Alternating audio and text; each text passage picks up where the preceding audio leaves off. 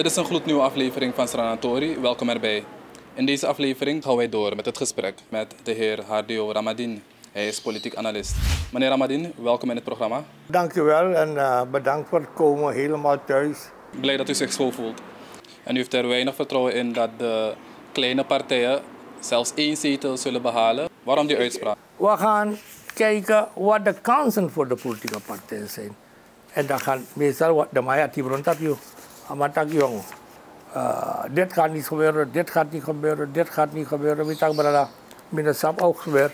Maar er gaat in 2025 niet meer dan 20.000 kiezers bijkomen.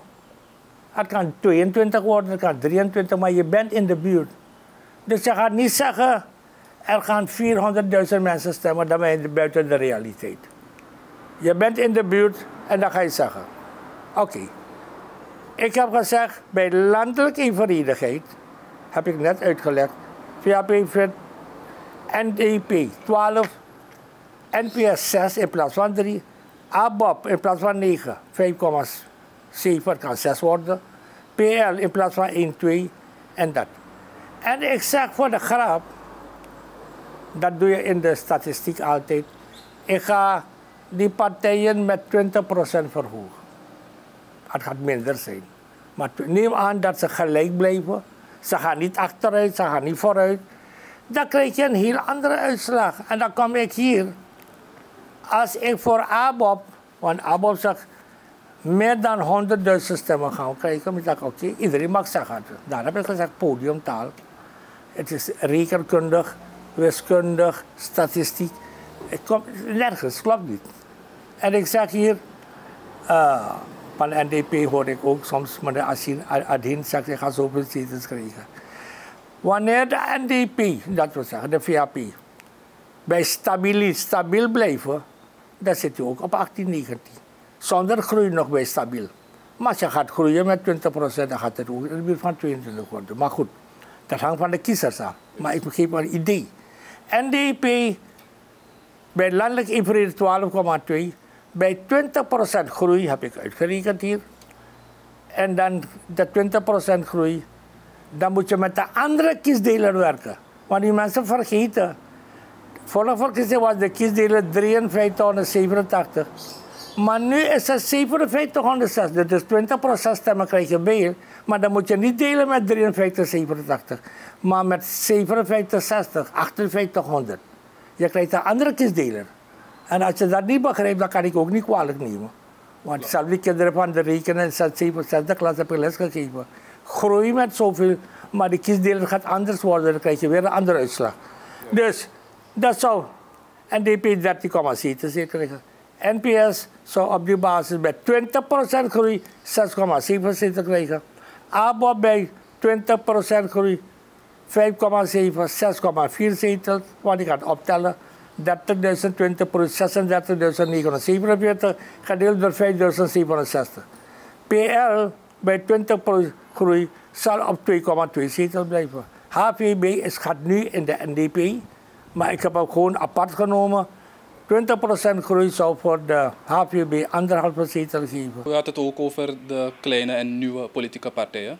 Ik ga over die samenbundeling heb ik maar twee, twee, twee partijen gezien. Namelijk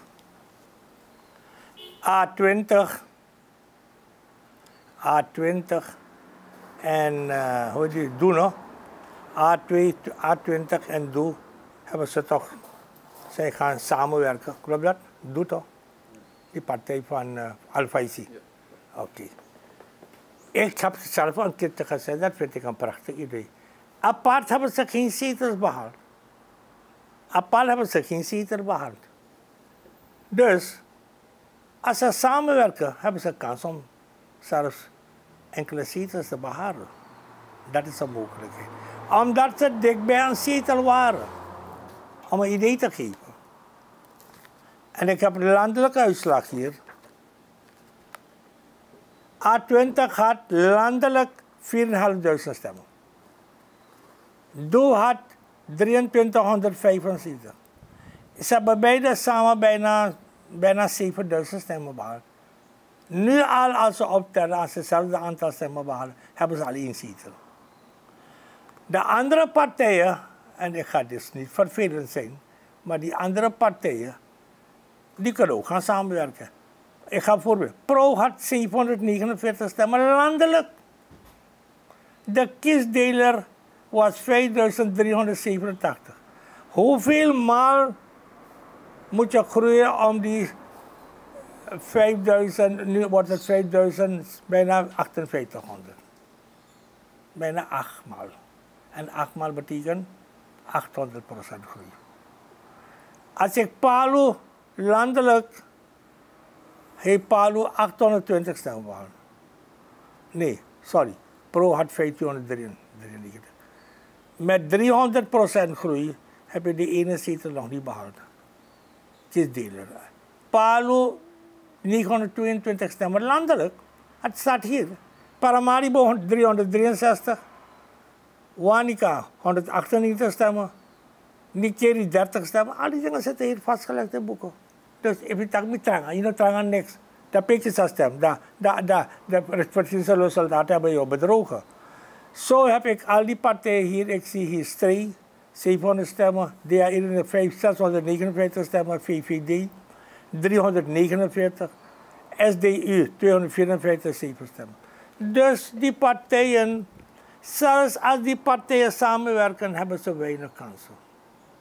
Maar, ik zeg, iemand heeft het mooi gezegd, ja, maar ze kunnen toch groeien? Ik dacht, ja, daarom heb ik gezegd, ze moeten met zoveel groeien als ze een zetel willen maken. Gelooft u erin dat ze de partijen met uh, 200 tot 300 procent uh, kunnen groeien? Ik, ik heb een beetje statistiek gehad. Misschien hebben ze meer dan mij gehad hoor. Ik zie het niet. En ik heb het hier. Ik heb het hier vastgelegd. Pro 1593 stemmen. En ik zeg, Pro gaat met nog 200% groeien. Met nog 200% is 100. Dus die partij moet met 300% moet worden in plaats van 100%. Dan worden ze op 4779 stemmen. En de kiesdeler wordt 5067, want ik heb dat al uitgerekend. Hoe ik aan die 5760, die, 4, die 400, 300 zoveel stemmen, duizend stemmen. En dat is niet eens voldoende voor een DNA-zetel, 0,28% van een DNA-zetel. Paal SPA had vorige verkiezing, daar heb ik basisjaar genomen, 2000, anders ga ik niet kunnen uitrekenen. Anders moet fantaseren. Dat is de uitslag. En als je 300 procent, dan komen ze op 2766. Is minder dan een halve DNA-zetel, 0,48 procent. Palu 820 stemmen. Driemaal groei is 2460. Kiesdelers 5067, 0,42 procent. En zo heb ik voor D91 0,34, VVD 0,18 procent. Al die partijen heb ik hier. En dat zie ik voor deze kleine partijen. Ze kunnen een blok vormen. Ze kunnen een lijstverbinding aangaan, want je mag niet meer pre-electorale samenwerking verboden bij wet. Pre-electorale samenwerking, dus je gaat, een, je gaat op de lijst van een andere partij moeten gaan. Dat, hebben, dat heeft PL en ABOP samen gedaan in 2020. Ze mochten niet op de lijst komen PL-ABOP. Want dat is bij wet verboden pre-electorale. Voor de verkiezing maak je geen samenwerking. Na de verkiezing wel. En onderling maken ze afspraak. Hadden ze die samenwerking niet aangegaan, hadden ze die samenwerking niet aangegaan, had PL nul zetel in 2020 behaald.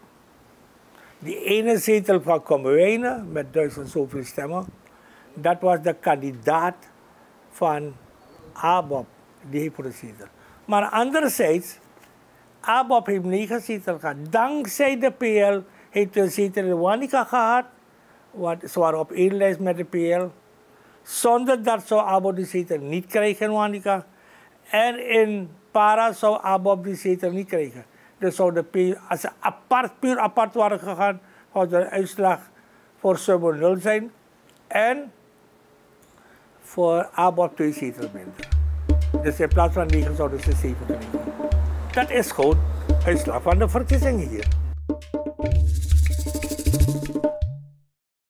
Over die partijen gesproken, de ABOP en de PL. De ABOP, uh, wat is uw reactie op de oproep van de ABOP om Marons voor 100.000 stemmen samen te bundelen en de PL, de Javanen, voor 50.000 stemmen? Uh, is het wel haalbaar? Kijk, dan kan je. Ik wil die mensen niet uh, niks zeggen. Het zijn allemaal mensen die ik ken. Daar heb ik gezegd, beschaafd heb ik gezegd podiumtaal. Hoe kan je 30.000 stemmen halen? En je wil, nee, nee, PL had 10.700 zoveel. Hoe kan jij 30.000 naar meer dan 100.000? Dat is 100.000 niet. Kijk, kleine partijen kunnen makkelijk 100% groeien. Een partij die 500 stemmen behaalt. En als je nog 500 stemmen, is 100% gegroeid. Maar je bent vlak daar in de buurt gebleven van nul. Maar grote partijen naar 100% groeien, dat kan bijna nooit. En hoe ga je met 30% groeien? En bovendien, ik heb net uitgerekend, in 2025 zal het aantal kiezers niet meer dan 20, 25.000 groeien. Dan gaan die andere partijen bijna alles moeten inleveren. En dat zie ik niet zitten. Dus ik heb gezegd, podiumtaal. Ze moeten allemaal hard werken. Mensen mobiliseren. Wat ga je doen, wat ga je niet doen, wat ga je doen, wat ga je niet doen. Het aantal kiezers is ook beperkt. Wij zijn niet in andere landen waar er miljoenen kiezers zijn. We hebben net gezien, ongeveer voorlopig kiezerslijst is van 420.000. We hebben gezien opkomstpercentage 70% Al is het 75% Dat toch door de 300.000 nauwelijks. Dus een aantal kiezers gaat niet automatisch komen. En nu, en nu, die goedkope zetels bestaan niet meer. Je